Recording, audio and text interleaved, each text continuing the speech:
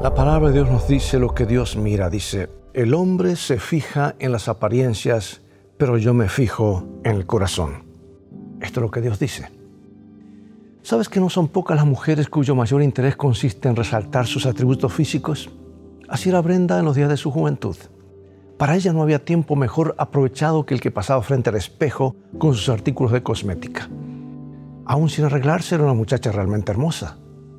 Pero agraciada como pocas y, bien proporcionada, Brenda dedicó tanto tiempo a realzar su belleza y en base, a eso e, ella cifró tanto sus esperanzas en la vida que, pasados los años, cuando su hermosura fue menguando, descubrió que no tenía otra virtud en la cual apoyarse.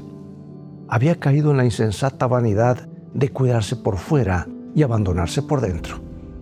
En los días de la adolescencia, Brenda había sido el centro de todas las miradas.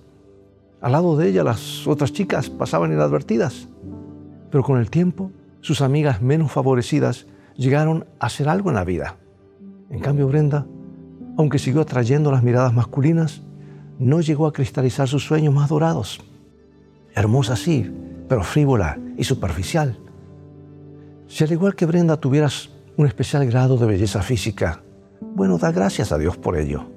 Arréglate y mantente atractiva para conservar ese don divino pero a la vez no incurras en la vanidad, consérvate humilde. Además recuerda que el tiempo es demasiado valioso para dedicarlo mayormente al arreglo exterior. El cultivo del espíritu es tan importante que sin él no hay verdadera belleza. Si eres soltera no podrás soñar con hacer feliz a ningún hombre como esposo si tan solo te ocupas en tu apariencia.